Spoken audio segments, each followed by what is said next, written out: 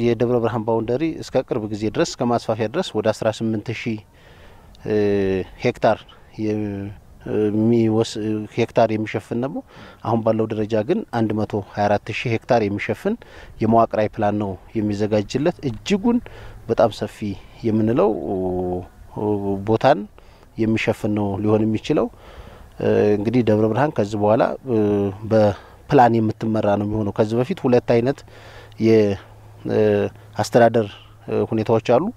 አንደኛው በፕላን የሚተዳደሩ ቦታዎች አሉ። ከፕላን ውጭ ደግሞ የአድሚኒስትሬሽን የሚባለው ወይም የአስተዳደራዊ ክልል የነበረው ከተማ ነው።